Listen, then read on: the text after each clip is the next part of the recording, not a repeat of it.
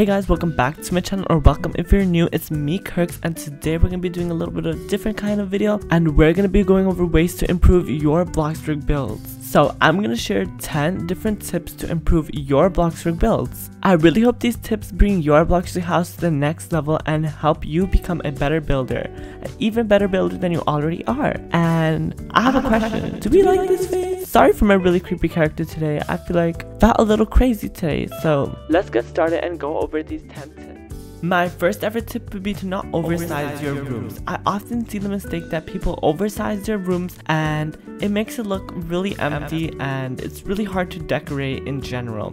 So for example, you can see I made this kitchen only 4 by 3. This kitchen is only 4 blocks by three blocks, you could even say four blocks. But overall, this kitchen is, you would consider it to be small, but when you look at it, it's actually really well decorated and I had a really easy time to decorate the whole kitchen. Whereas if it was bigger, it would be much harder and cost way more to decorate this kitchen to my liking. But as you can see, it still has plenty of space to move around, make your little meals, but it looks 10 times better than if you were to make your kitchen huge and have it be half empty. We can also see the same thing here with the living room that I made.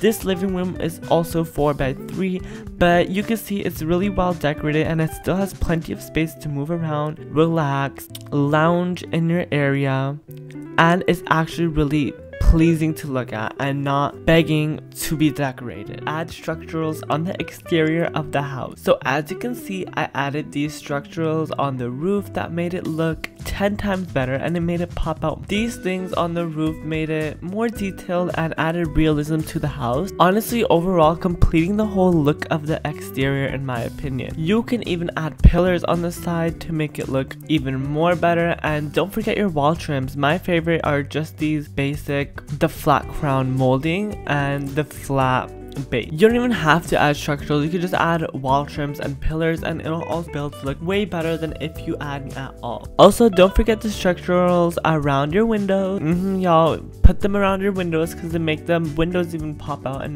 look more customized. As you can see, I did put some around the windows and I did a little like thing here. I don't know what, I don't know if that's even a thing, but I just made it a little longer at the top and shorter on the sides and it looks super cute in my opinion. Another tip that would correlate with the X exterior is add more garden. As you can see, I did add quite a lot of garden this house. Still, maybe I could have added more depth to the gardening, but I didn't. But even just this amount of gardening actually makes the house so much better than if you were just to leave it plain with grass. As you see, I added bushes, leaf plants, a bird bath, and a fun fact about these is birds actually come down here and go in the bath. So you can even add these around. You're gonna have a bunch of birds flying flying around your house, which is gonna look so cute, especially for spring builds. That's gonna be the cutest. Ah, and oh my god, look, it's a bird. Look, guys, it actually popped up. Look, it's taking a little tiny bath. See how cute that looks? Just this little area looks so cute with the little bird. Oh my god, it's so cute. You could also add those insect houses inside of your bushes if you want butterflies to fly around as well.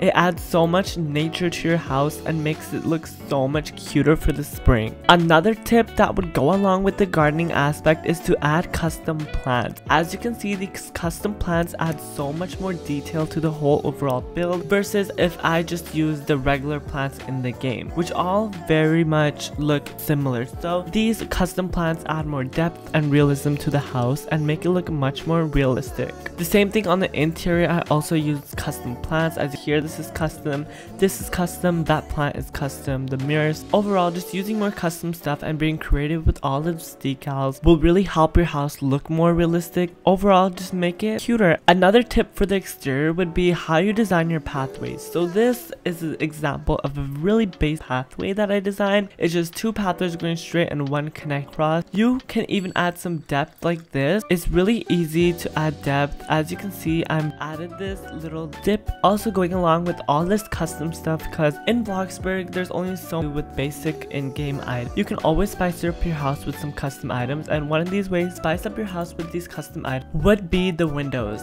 Look at this window y'all, it's custom and I based I just used the clear window and added some structure which is really easy. You just grab some basic structurals, add them across and down and you can also copy and paste it to the, all the other places you want windows in your house and it looks so much better than the regular. Of course if you think you can't make custom windows you can always just use the in-game windows but also line them with rock like this and it makes them look more custom and more realistic and overall just enhances their look even more. I don't use custom in all my builds and when I do I use custom design. When I don't I just grab these kinds of windows or any other windows and add them there to make them look a little bit better. Another way to make your build stand out is customize your furniture. So these chairs might look like they're unusable, they might look like I made them completely custom but I actually didn't. I just added a couple of structurals and made them look so much better. So these are actually the mid-century. I actually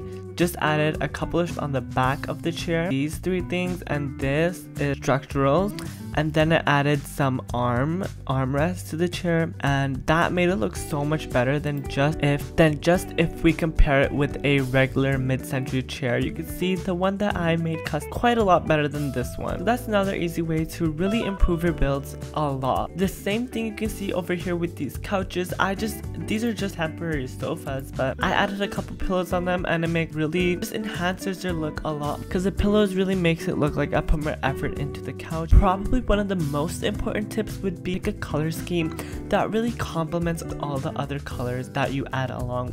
So for example, here I have a cute little dark navy-ish fossily blue.